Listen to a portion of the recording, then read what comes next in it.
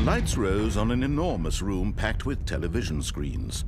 What horrible secret did this place hold? Stanley thought to himself.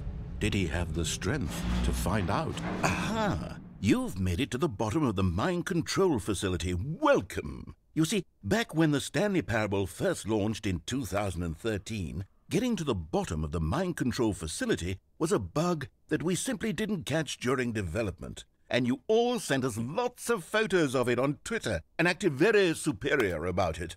And you're all very, very clever. Good for you. Anyway, when it came time to update the game, we knew that we had to do something about this little goof of ours, so here you go.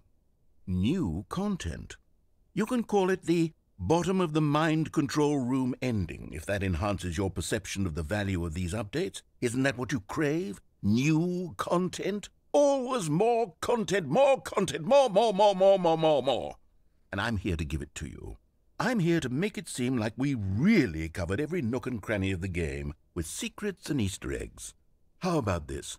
We wrote a new piece of music just for this section. You won't hear it anywhere else in the game. It's a secret that's just for you. That's how special you are. We call this track Good Job You've Made It to the Bottom of the Mind Control Facility. Well done.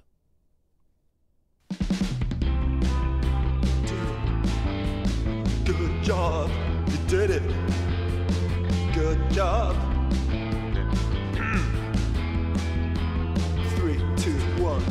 Good job, you made it to the bottom of the mind control facility. You jumped on the catwalk. Should have been careful. You should have been careful. It used to be a bug, but now it's an ending. Now it's an ending. And I believe in you. I believe in your ability to cross this barrier and chase your dreams.